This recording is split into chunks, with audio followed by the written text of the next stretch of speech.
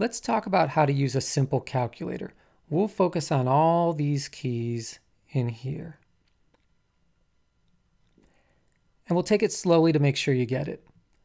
Every basic calculator has an equals key, a key for addition, subtraction, multiplication, and division.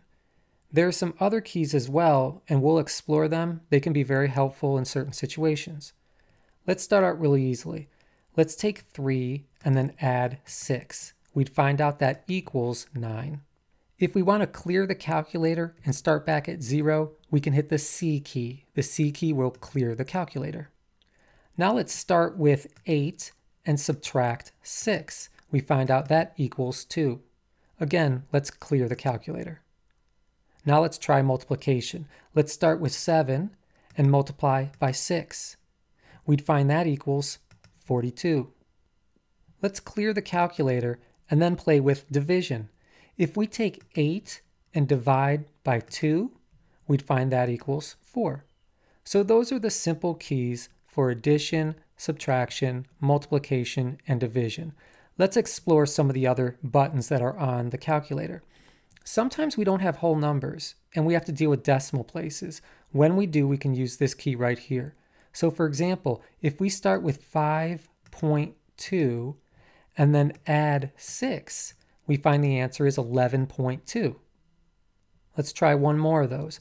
Let's say we had 10.9 and we wanted to multiply by 6. We'd find out that equals 65.4. The calculator makes it easy. Let's go ahead and clear the calculator. This button right here will take whatever value we enter and convert it from a positive value to a negative value. So for example, let's say we want to start with 8 and then add negative 3. We can type in 3 and then hit the plus minus button to make it negative. Now what we have is 8 plus a negative 3, and we find out that equals 5. Let's try that again just to make sure we get it. Let's say, let's clear our calculator first, that we want to multiply 9 times negative 6. I can type in 6 and make it negative. Now the answer that the calculator provides me will be 9 times negative 6, which equals negative 54. Let's go ahead and clear the calculator again. Let's explore these keys right in here. These keys are very helpful when we type in a value by mistake. So for example, let's say I start with 8 and I want to subtract 6, but I hit the 6 twice by mistake. If I hit the backspace key, one of those 6's will be deleted for me and I'm left with what I wanted, 8 minus 6, which equals 2. Let's go ahead and clear the calculator and try that again. If I started with 5 and I wanted to multiply by 8, but I hit 88, Again, I can hit the backspace key to delete one of those 8s and be left with what I wanted, 5 times 8, which in this case equals 40. Let's clear the calculator. Sometimes you might want to clear an entry altogether, and that's what CE stands for, clear entry. So for example, let's say I start with 8 and I want to subtract 5, but I click in 55 by mistake. I can delete that whole thing, that whole 55, by hitting clear entry. Now I can simply type in the value that I wanted, 8 minus 5, which would equal 3. Let's clear the calculator and try that again. Let's say I have 75 and I want to subtract 25, but by mistake I key in 28. I can clear that entry. So by hitting CE, I will clear the 28, and now I can type in 25. 75 minus 25 equals 50. Let's go ahead and clear the calculator again. Let's explore these keys up in this row. Let's start with this one right here. What this is going to do is take 1 and put it over in a fraction, whatever I type in. So for example, if I type in 10, when I hit this key, it'll create a fraction that has 1 on the top and 10 on the bottom, 1 divided by 10 in this case equals 0.1. Let's try that again.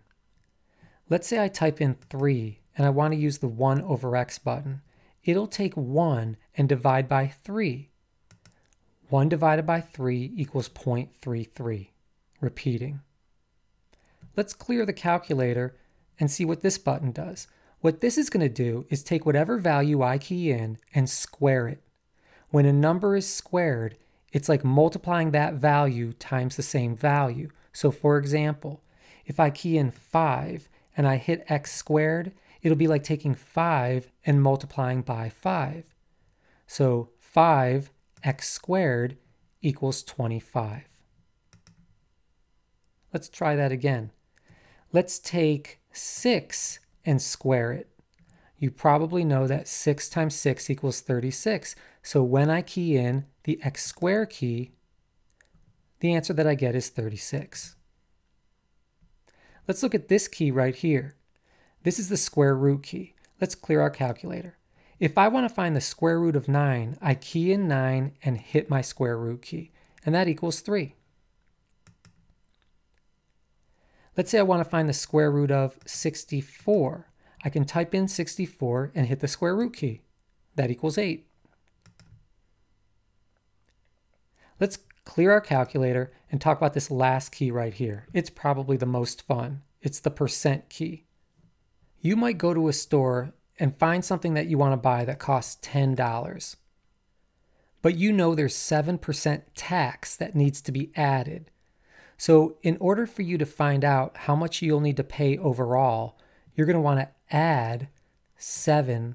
And you can see the calculator calculated how much 7% of 10 is. And in this case, it's 70 cents. When I hit equals, it'll take that original price of $10 and add the tax of 70 cents, which would equal total $10.70. Let's clear the calculator and try that again. Let's say you saw something at a store for $10 and you saw a sign that it was on sale and it was 20% off. Now you can click minus 20%. 20% will be computed. It's $2. Now when we hit equals, the calculator will take the original price, $10, and subtract the $2 and find out that you would only need to pay $8. However, remember, there's going to be tax on that $8. So now let's add 7%. 7% of the $8 is 56 cents. So $8 plus 56 cents would equal $8.56. Calculators can be a lot of fun. They just take a little bit of practice. Happy computing.